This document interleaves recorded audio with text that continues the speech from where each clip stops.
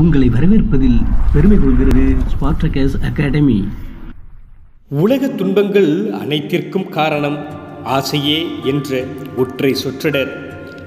இன்றும் உலகெங்கும் உலா வருவதற்கு மூல காரணகர்த்தாவாய் அமைந்த புத்தர் அத்துன்பத்தின் துயர் துடைக்க எட்டு நல் நெறிமுறைகளை உணர்த்திச் சென்றார். ஆம் நற்பார்வை நல்ல நோக்கம் நல்ல முயற்சி நல்ல பேச்சு நன்னடத்தை நல்ல வாழ்வு நல்ல சிந்தனை நல்ல தியானம் ஆகிய எட்டு நெறிமுறைகளையும் கொண்ட மனித வாழ்வு இன்பமாய் அமையும் என்றார். காலத்தில் கபிலவஸ்து என்கிற பகுதியில் உள்ள லும்பினியில் சுமார் கிமு ஐநூற்றி அறுபத்தி மூன்று வாக்கில் பிறந்த சித்தார்த்தரே பின்னாளில் கௌதம புத்தரானார். சுத்தோதன மகமாயா என்கிற மாயா என்பவருக்கு மகனாக பிறந்து பிரஜபதி கௌதமி என்கிற வளர்ப்பு தாயால் வளர்க்கப்பட்டவர். சிறுவயதில் உலக வாழ்க்கை என்ன என்பதே தெரியாமல் ஆடம்பர வாழ்க்கையை மட்டுமே வாழ்ந்து பழகிய சித்தார்த்தர் தமது முப்பத்தி ஐந்தாம் வயதில் போதி மரத்தடியில் ஞானம் பெற்றார் என்பர். யசோதரா என்கிற பெண்ணை திருமணம் செய்து வைக்க ராகுலன் என்கிற மகனும் பிறந்த பிறகு தமது இருபத்தி ஒன்பதாம் வயதில் வீட்டை விற்று வெளியேறிய புத்தர் வயோதிகர் நோயாளி பிணம் துறவி ஆகிய நான்கையும் கண்டு பிறப்பு இறப்பு நோய் முதுமை துன்பம் தருபவை. மேலும் பசி பகை கொலை வெகுளி இழப்பு மயக்கமும் துன்பம் தருவையேதான். ஆக ஆசை என்கிற பற்றிய துன்பத்திற்கு காரணமாயின. அந்த துன்பத்தை நீக்கும் ஒரே வழி ஆசையை விட்டு விடுவதே என்கிற போதனையை உலகெங்கும் பரப்புரை செய்தார். புத்தர் என்ற சொல்லின் பொருள் நல்லது எது கெட்டது எது என்பதை அறிந்து கொண்டவர் என்றும் ஞானம் பெற்றவர் என்பதும் பொருளாக கொள்ளப்படுகிறது. அவர் ஞானம் பெற்ற இடமாக கயாவில் உள்ள அரச மரத்தடியையே குறிப்பிட்டுச் செல்கின்றனர் ஆய்வாளர்கள். புத்தர் தனது முதல் போதனையை உத்தரப்பிரதேசத்தில் வாரணாசியின் அருகே சாரநாத்தில் உள்ள மான் பூங்காவில் தொடங்கினார் என்று குறிப்பிடுவர். சாக்கிய நாட்டில் சாக்கிய முனி என்று அழைக்கப்பட்ட புத்தர் கோசல நாட்டு பிரசேனஜித் மகத நாட்டு பிம்பிசாரர் மற்றும் அஜாத சத்ரு மௌரிய பேரரசர் அசோகர் ஆகியோரால் ஏற்றுக்கொள்ளப்பட்ட தத்துவ ஞானியாக திகழ்கிறார். சாரிபுத்தர் மொக்களன்னர் ஆனந்தர் கசபர் உபாலி போன்ற பலரும் இவருடைய சீடராக திகழ்ந்திருக்கின்றனர். கடவுள் ஆன்மா கர்மவினை மறுபிறவி போன்ற தத்துவவாதங்களை தவிர்த்த புத்த எண்ணம் சொல் செயல் ஆகிய மூன்றிலும் தூய்மை வேண்டும் என்ற கருத்தை வலியுறுத்தினார். கடவுள் அல்லது ஏதேனும் ஒரு ஒருமிய சக்தி உலகை தோற்றுவிக்கவில்லை என்பது பௌத்தத்தில் புத்தர் போதனைகளில் ஒன்றாக இன்றும் இருக்கிறது. மேலும் பௌத்தத்தில் மெய்ப்பொருள் புரிதலை நோக்கிய தேடல் சீரிய ஆராய்ச்சியினால் மேற்கொள்ளப்படுகின்றது. அறிவியலின் முடிவானது பௌத்தத்தின் கூற்றுகளில் ஏதாவது ஒன்று பிழை என்று நிரூபிக்கப்படுமானால் அறிவியலை ஏற்று அந்த கூற்றை பௌத்தத்திலிருந்து விலக்கிவிட வேண்டும் என்று வலியுறுத்தி இருக்கிறது ஆக அறிவியலோடு அறிவியல் நகர்ந்து போகிற நகர்விற்கு ஏற்ப இயங்கக்கூடிய மத கருத்துக்களாய் புத்த மதம் வளம் வந்ததால் இன்றும் உலகெங்கும் வளம் வருகிறது என்று சில ஆய்வாளர்கள் குறிப்பிடுகின்றனர். புத்தர் எழுதிய நூல்கள் திரிபீடங்கள் என்று வழங்கப்படுகின்றன. அதாவது சுத்த பீடகம் அபிதம்ம பீடகம் வினய பீடகம் என்று பாலி மொழியில் அமைந்திருக்கக்கூடிய நூல்கள் பிற்காலத்தில் சமஸ்கிருதத்திலும் எழுதப்பட்டிருக்கிறது. பௌத்த மதத்தினுடைய கருத்துக்களை ஏற்றுக்கொண்டு தேரவாத பௌத்தம் மகாயான பௌத்தம் என்று இரு வகையான பிரிவுகள் பிற்காலத்தில் தோன்றியிருக்கின்றன. உதாரணமாக தேரவாதம் என்கிற ஹீனயானம் என்றும் அதனை அழைப்பதுண்டு. இந்த தேரவாதம் இலங்கை தென்கிழக்கு ஆசியாவினுடைய கம்போடியா லாவோஸ் தாய்லாந்து பர்மா போன்ற நாடுகளில் பின்பற்றப்படுகிறது என்று குறிப்பிடுவது உண்டு. மகாயானம் என்பது China Korea Japan Vietnam Singapore மற்றும் தைவான் போன்ற நாடுகளில் குறிப்பாக கிழக்கு ஆசிய நாடுகளில் பின்பற்றப்படுகிறது என்கிற குறிப்பும் காணப்படுகிறது. இவை இரண்டையும் தவிர்த்து திபெத் மங்கோலியா போன்ற நாடுகளில் வச்சிரையான பௌத்தம் என்று மூன்று வகையான பிரிவுகள் காணப்படுவதாக ஆய்வாளர்கள் குறிப்பிடுகின்றனர். அதை தாண்டி பல கருத்தியலும் முரண்பட்ட கருத்தியலும் நிகழ்கிறது. இதில் குறிப்பாக ஹீனயானம் என்பது புத்தரின் கொள்கைகளை ஏற்றுக்கொண்டவர்கள் உருவ வழிபாடு செய்யாதவர்களாக இருக்கின்றார்கள் என்றும். மகாயானம் என்பது புத்தரை தெய்வமாக ஏற்றுக்கொண்டவர்கள் உருவ வழிபாடு செய்பவர்களாகவும் விளங்குகிறார்கள் என்ற கருத்தும் நிலவுகிறது. புத்த சமய துறவிகள் கொண்ட சங்கம் அமைக்கப்பட்டிருக்கிறது. புத்தருக்கு புத்த பிட்சுகள் என்று சொல்லக்கூடிய புத்த சமய துறவிகள் உபாசிகர்கள் அதாவது புத்த சமயத்தை தழுவிய சாதாரண மக்கள் என இருவகை சீடர்கள் இருந்திருக்கின்றனர் புத்தரது போதனைகளை பரப்புவதற்கு புத்த சமய துறவிகளை கொண்ட சங்கத்தில் ஆண் பெண் சாதி வேறுபாடுகளின்றி அனைவரும் உறுப்பினராக சேர்க்கப்பட்டிருக்கின்றனர். இதில் பெண் துறவிகளுக்கு மட்டும் அவர்களது இருப்பிடம் மற்றும் பிரயாணம் குறித்த சில கட்டுப்பாடுகள் விதிக்கப்பட்டிருக்கின்றன. புத்த மடத்தில் பெண் துறவிகளை சேர்ப்பதில்லை என்ற கட்டுப்பாட்டை புத்தர் தன் வளர்ப்பு தாயான கௌதமியின் வேண்டுகோளை ஏற்று தளர்த்தினார் என்று கூறப்படுகிறது. ஜனநாயக முறைப்படி பௌத்த சங்கம் நிர்வகிக்கப்பட்டிருக்கிறது.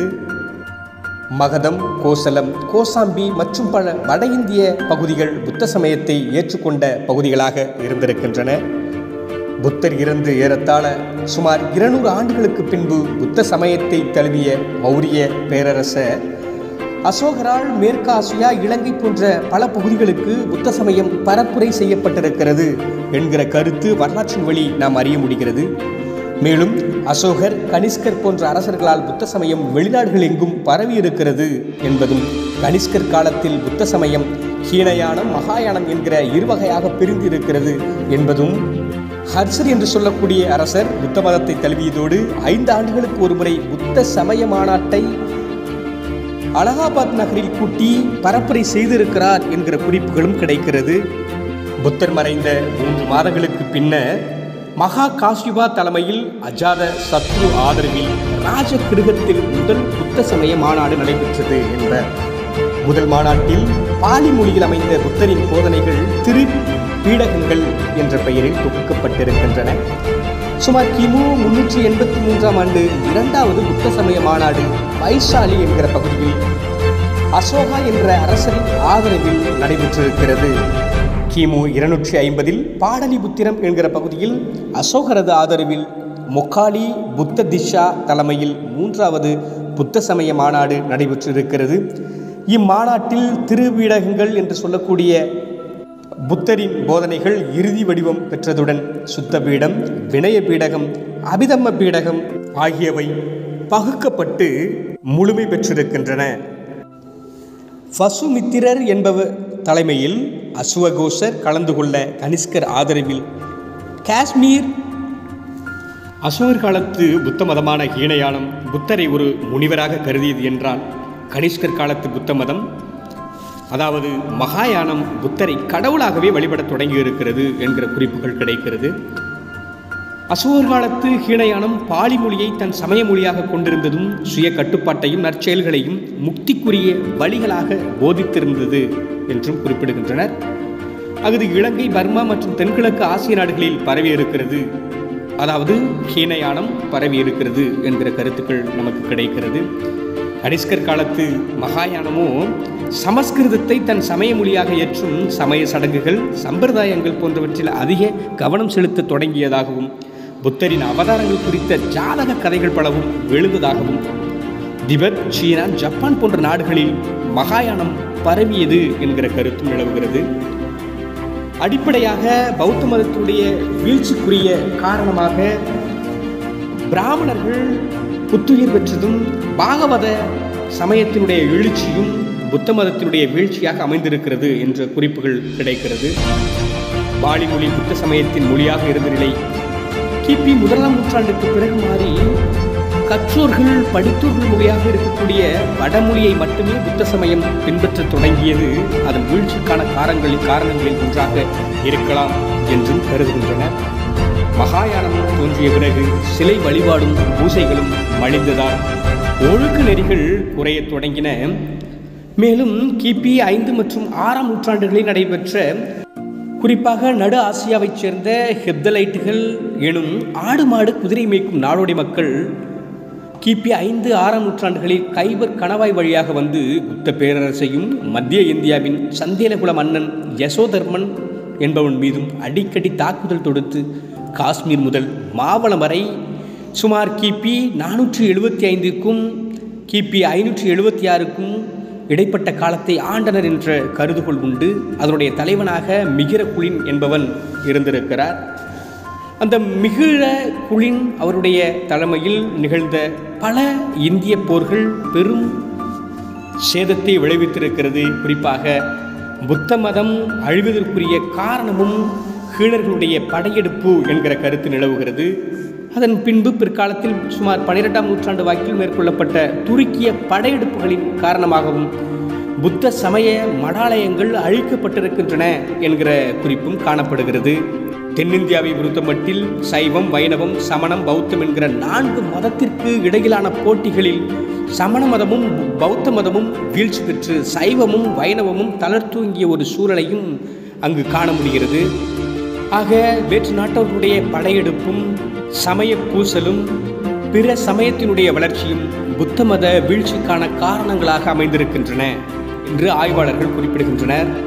இந்திய நாட்டை பொறுத்தளவில் இன்றைய நமது விடுதலை போராட்டத்தின் முக்கிய விழுமியமாக அகிம்சை கொள்கை பௌத்தத்தின் கொடையாகவே இருக்கிறது என்றும் சாஞ்சி பார்ஹித் கயா ஆகிய இடங்களில் உள்ள ஸ்தூபிகளும் இந்தியாவின் பல பகுதிகளில் காணப்படும் புத்த பிட்சுகளின் வசிப்பிடம் மற்றும் புத்த கோவில்கள் ஆகியவையும் இந்திய கட்டிடக்கலைக்கு புத்த சமயத்தினுடைய கொடையாகவே இருக்கிறது என்றும் தட்சசீலம் நாளந்தா விக்ரமசீலா போன்ற இடங்களில் இருந்த புத்த சமய பல்கலைக்கழகங்களும் பிற கல்விக்கூடங்களும் சிறந்த கல்வி தொண்டாற்றி இருக்கின்றன என்ற கருத்தும் பாலி மொழி மற்றும் பிற உள்நாட்டு மொழிகள் வளர்வதற்கு புத்த சமய பிரச்சாரமே அடிப்படை காரணமாக இருந்தது என்றும் ஆசியாவின் பிற்பகுதிகளுக்கு இந்திய பண்பாட்டை புத்த சமயம் எடுத்துச் சென்றதோடு தற்காலத்திலும் அதனுடைய செல்வாக்கு பல ஆசிய நாடுகளிலும் பரவி இருக்கிறது என்ற பெருமையும் கொண்ட ஒரு மதமாக புத்த மதமும் பெருமையை தந்தவராக புத்தரும் கருதப்படுகிறார்.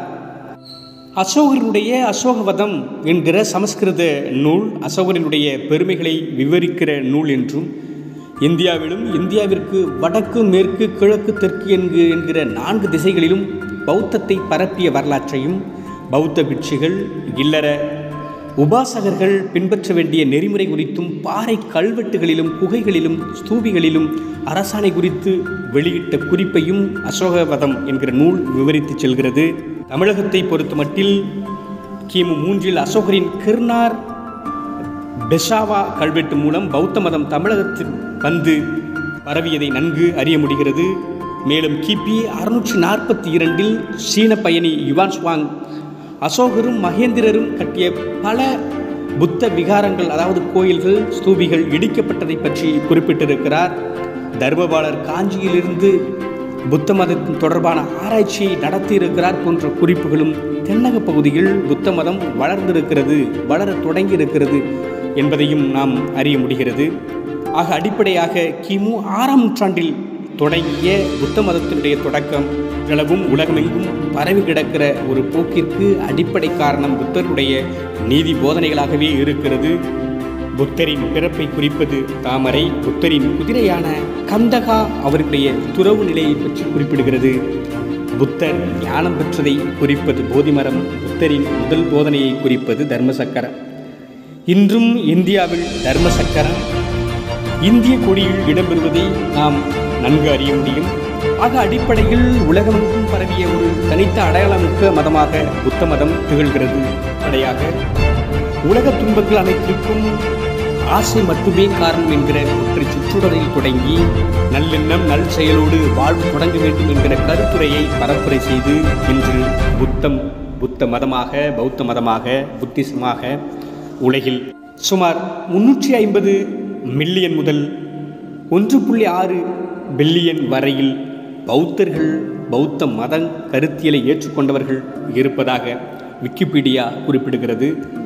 ஆக ஒற்றை சொல்லாடல்கள் இந்த உலகில் பெரும் நீதி போதனைகளாக மாறி சமூக சீர்திருத்த கருத்துக்களை வெளிப்படுத்தக்கூடிய மதமாக இன்றளவும் உலகில் வலம் வருகிறது. நன்றி.